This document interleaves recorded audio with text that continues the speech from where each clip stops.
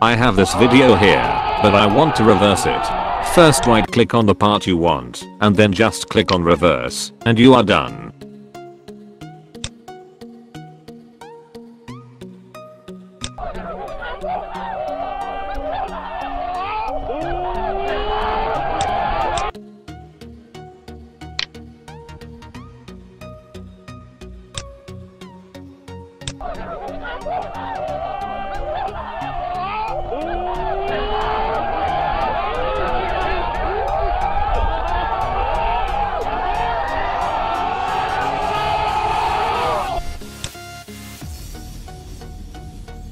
Thank you for watching.